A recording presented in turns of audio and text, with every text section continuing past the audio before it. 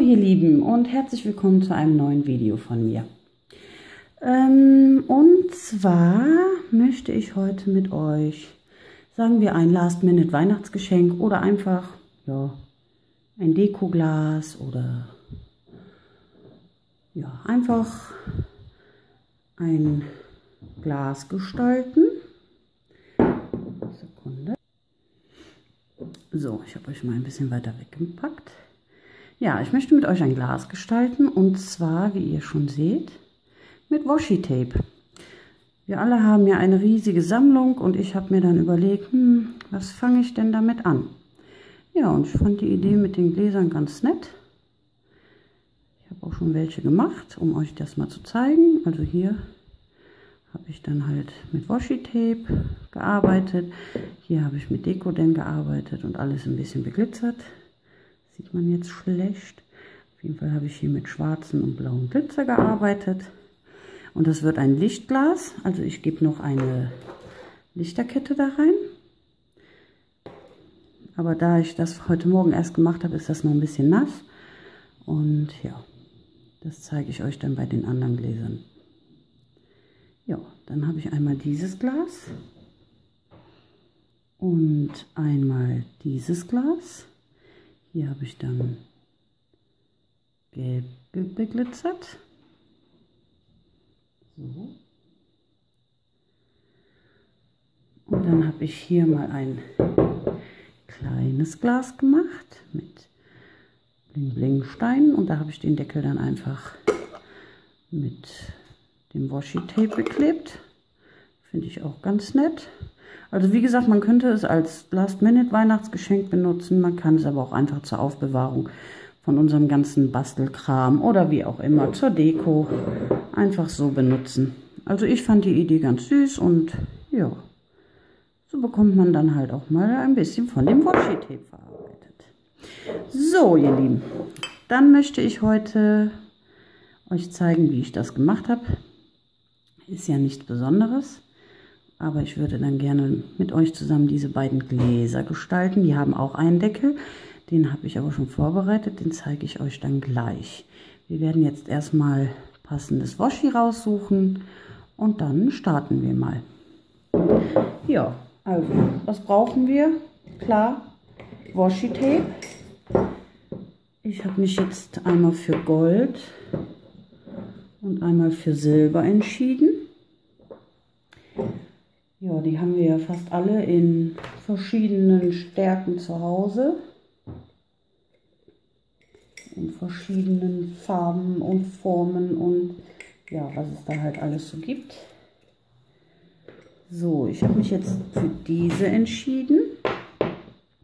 Ein Glas in Silber, ein Glas in Gold und dazu dann halt passend den Deckel aber wie gesagt, den habe ich schon vorbereitet, den zeige ich euch dann am Ende des Videos. Ich hoffe, dass er bis dahin getrocknet ist. So.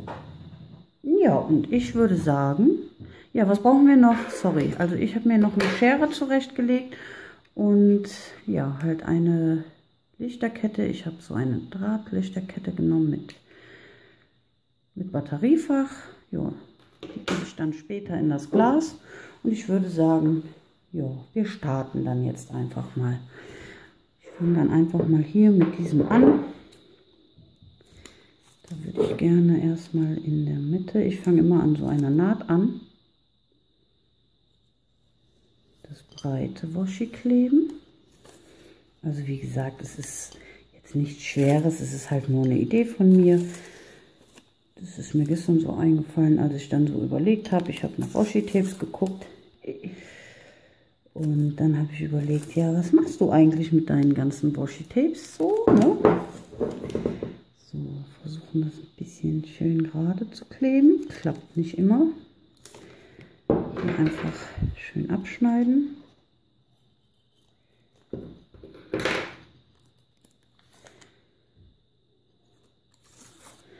Kommt natürlich auch darauf an, wenn das Glas jetzt schon ein bisschen konisch ist, dann lässt sich das Washi natürlich auch nicht ganz gerade kleben. So, das sieht aber jetzt gut aus. So. So.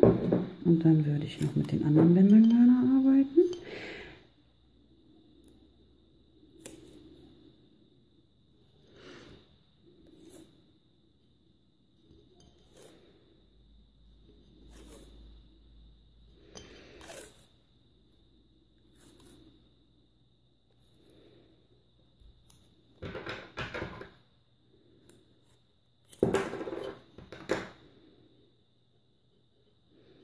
Ja, und wenn man schon mal so Falten hat, ich finde, das macht gar nichts.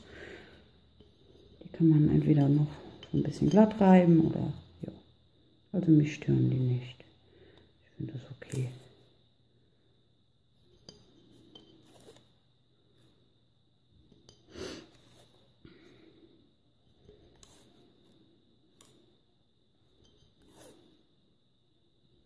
Ich denke, man kann das auch mit diesen Motivklebebänder machen.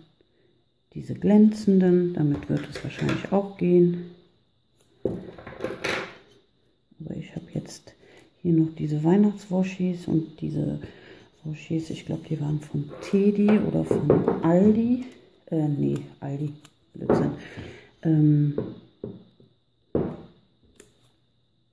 also ich glaube, die Weihnachtswoschis, äh, die waren wirklich vom, vom Aldi. Da nehme ich dann doch das dünne.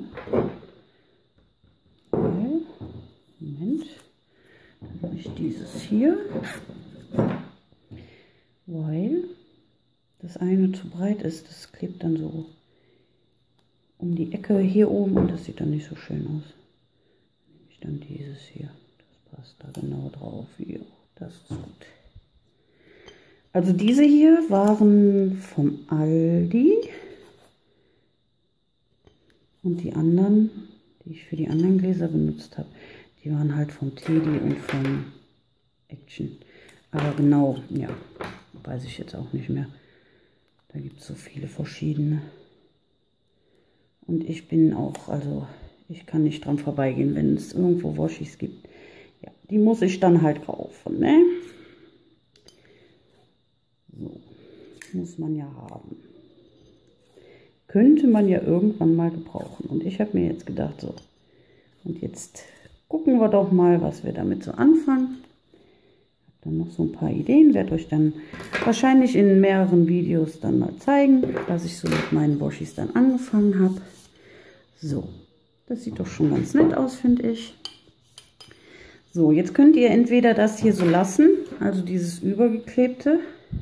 Ich werde das so lassen, ich finde das nämlich gar nicht schlimm. Oder ihr schneidet einfach mit dem Cutter hier runter und ja, klebt das dann einfach nimmt die Hälften ab und klebt das dann gerade. Aber ich werde das jetzt so lassen. Mich stört das nicht. Ich finde das ganz schick so. So, und dann nehmen wir uns mal das nächste Glas.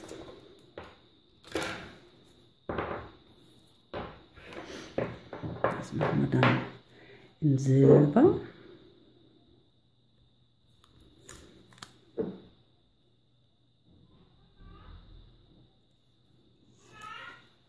Ich. So, mein Sohnemann.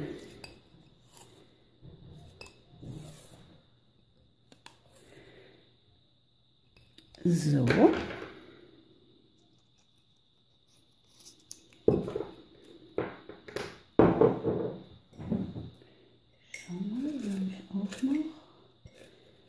Graues. Ich glaube, das gefällt mir auch ganz gut. Aber erst nehme ich das, genau. Ein bisschen mehr Kontrast. Nehme ich das hier.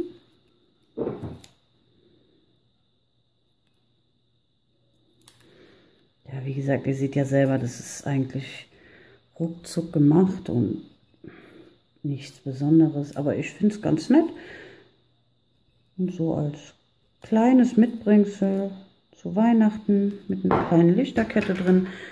Wenn man keinen Deckel zu dem Glas hat, kann man auch äh, ein Teelicht reinstellen oder, oder ein, ein, ähm, ein elektrisches Teelicht reinstellen. Das sieht bestimmt auch ganz schön aus. Man könnte das jetzt auch schon so lassen, wie das jetzt ist, so als Dekoglas. Aber arbeite hier noch mit den anderen Waschis und versuche das ganze Glas einzukleben. Das halt schöner, aber wie gesagt, da ist wie immer eure Fantasie natürlich keine Grenze gesetzt. Ich hoffe, ich tanze hier nicht aus dem Bild. Ich muss so ein bisschen unter der Kamera arbeiten, weil ich sonst nicht sehe. Ja.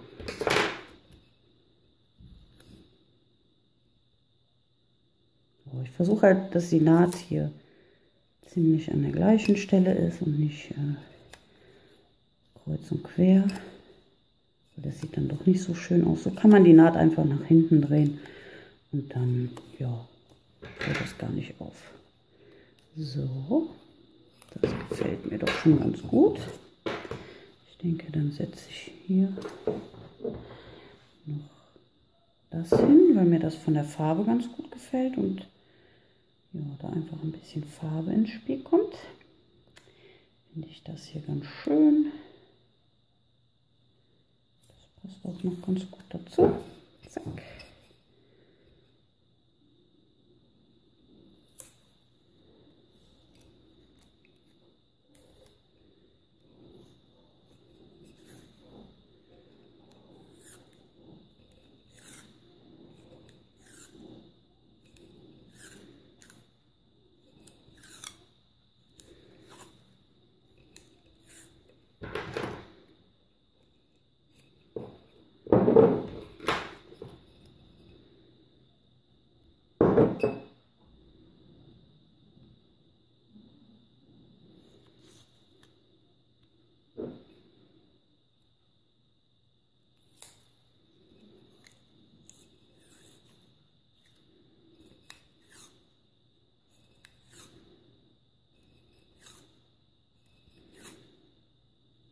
Hm.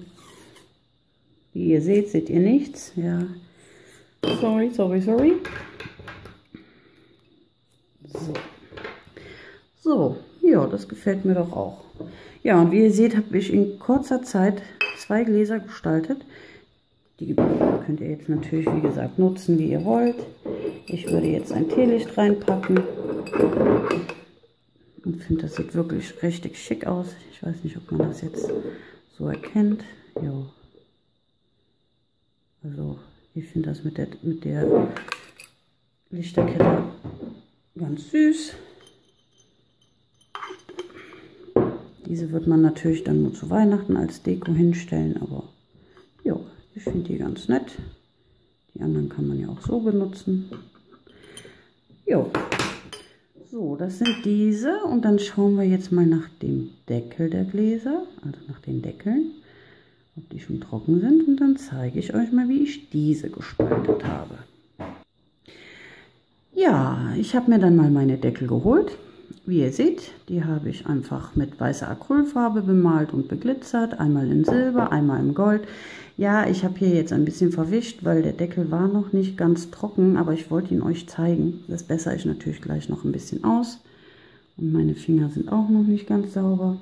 Ja, auf jeden Fall habe ich den dann einfach weiß angemalt und beglitzert. Und hier habe ich dann nochmal mit einem schmalen Washi den Rand beklebt.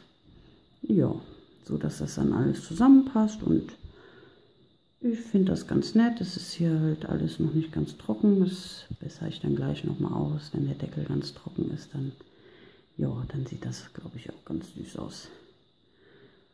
Ja, bei dem Silbernen habe ich das genauso gemacht. Da habe ich auch den Deckel mit weißer Acrylfarbe bemalt und Silber beglitzert. Ja, da sieht man den Rand auch. Wie gesagt, ich habe ein bisschen gematscht, weil die Farbe noch nicht ganz trocken war. Da habe ich dann auch noch mal ein schmales Washi drauf geklebt. Und ja, wie gesagt, also ich finde das ganz süß. Jetzt einfach nur als Aufbewahrung oder als kleines Geschenk. Als kleines Mitbringsel jetzt noch zu Weihnachten oder ja. Mir gefallen die Gläser ganz gut. Und sind schnell gemacht und ich finde, jo, die machen doch schon was her. Wie gesagt, bei mir werden das Lichtergläser. Da kommt eine Lichterkette rein. Jo, und das war's dann auch schon. Ich hoffe, mein kleines Video hat euch gefallen und ich habe euch auf eine Idee gebracht, wie ihr dann mal eure Waschis verarbeiten könnt, wenn ihr das denn wollt. Ich weiß ja, viele sammeln diese Bänder einfach nur und äh, wollen die gar nicht verarbeiten. Aber ich habe gedacht, ich verarbeite meine jetzt mal ein bisschen. Und ja, ich hoffe, meine Idee hat euch gefallen. Und ich sage dann einfach mal Tschüss, bis zum nächsten Mal.